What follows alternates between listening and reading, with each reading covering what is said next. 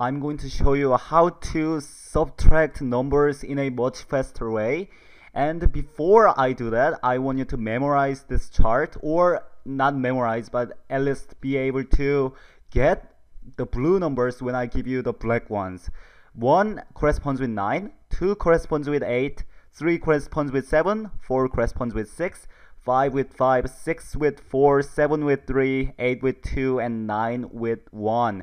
And how you can memorize this is by Uh, looking at how these two numbers add up to 10. So when I give you 1, one number and 1 add up to 10 and you're going to say that's 9. When I give you 5, well 5 plus 5 is 10 so you're going to give me 5. 8 is going to be 2 because 8 plus 2 is 10.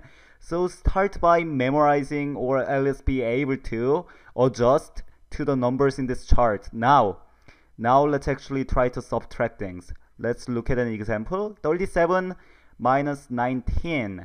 What you're going to do in this case, you're going to start with the 7 and 9.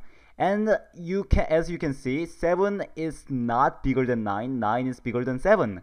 And when this when when if 9 was bigger than 7 you just subtract right if if the top number was bigger than the bottom number you just subtract right away but in this case that's not the case. So you're going to use this chart and how you're going to use it is by looking at the no looking at this number the bottom one and looking at which number in the chart it corresponds to. Like in this case this number is 9 so it corresponds with 1 and what you're going to do in your head, you're going to add this 1 and the top number up. So 1 plus 7, and that's going to give you 8. And whenever you use this trick, you're going to make this number 1 less than what it used to be. So now this is 2, and 2 minus 1 becomes 1. So it's going to be 18. Let me try to do this in, in my head. Let's attempt 74 minus 36. In this case, 6 is more than 4, so look at the chart. 6 corresponds with 4, because 6 plus 4 is 10. 4 plus 4 is 8. And now the 7 becomes a 6. 6 minus 3 is a 3. Let's do one more. And I'm going to get, I'm going to show you a harder one. Uh, let's try 91 minus 27. In this case, 1 is smaller than 7. So you look at the chart, 7 corresponds with 3. 3 plus 1 is 4. Now this 9 is an 8. 8 minus 2 is a 6. Now let's try to do a harder one.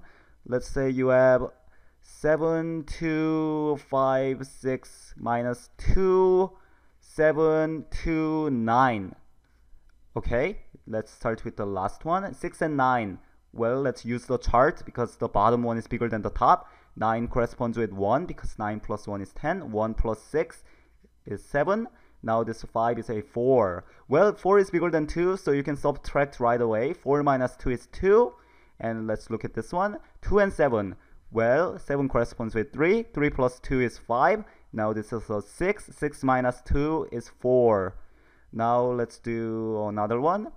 That's very hard. That's very long, in fact. 1, 2, seven five six eight I don't know two four four seven minus uh seven five I don't know six nine two zero one seven six. Let's try this one.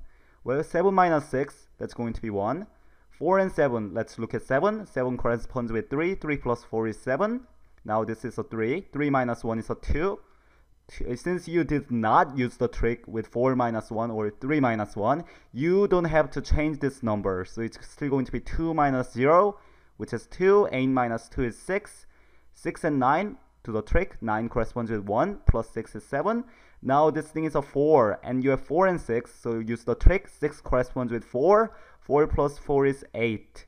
Now this becomes a 6. 6 minus 5 is 1. 7 corresponds with 3 plus 2 is 5 and this becomes 0 and that's how you do a faster subtraction.